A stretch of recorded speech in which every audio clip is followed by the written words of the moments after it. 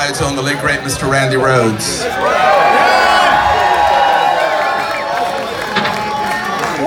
And as I'm sure all you know, 2007, the music world, Quiet Riot, and I personally lost my best friend, the funniest man on the fucking planet, one of the greatest rock singers, Quiet Riot's own, the late great Mr. Kevin DuBrow.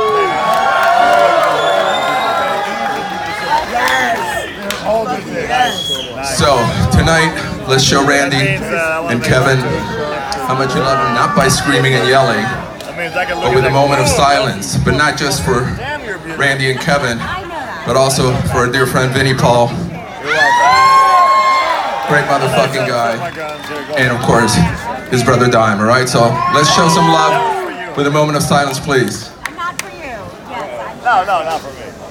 Not for you, I, not my, for your I think I big my nose and head and ears are. Oh.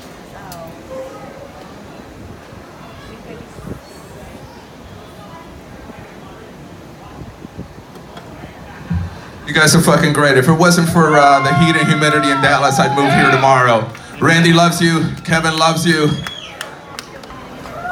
I love you. Quiet Riot loves you. Thank you so much.